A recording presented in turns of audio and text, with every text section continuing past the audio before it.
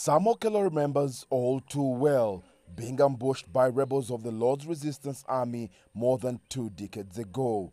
He said he was walking home from school in northern Uganda when he was forcefully kidnapped, an incident which haunts him till this day.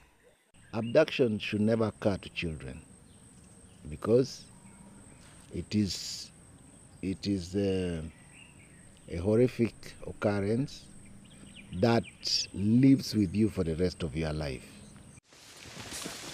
Such abductions were very common in the region after the LRA, a Christian extremist organization, began their campaign to oust President Yoweri Museveni in the late 1980s. Many of the worst atrocities were committed by former commander Thomas Kwoyelo.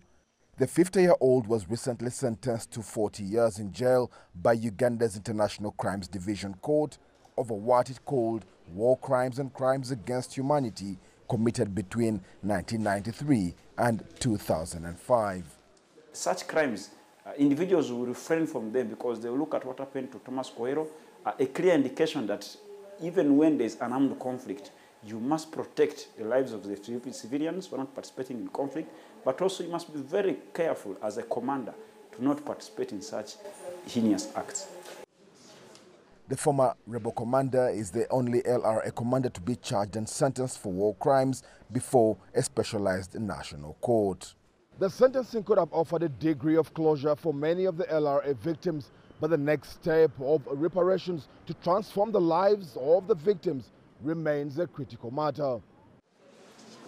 The court says it will conduct a separate proceeding to address the issue of reparations. Part of reparations could be for satisfaction, for compensation, and it could take different forms depending on how the court will advise, and also given how defense, uh, how victims' counsel will bring that matter forward.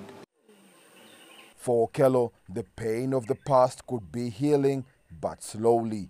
However, with justice being brought on to some of the perpetrators, the long wait remains on whether Joseph Kony, the founder and commander of the Lord's Resistance Army, who is still at large, will ever be held accountable for his acts.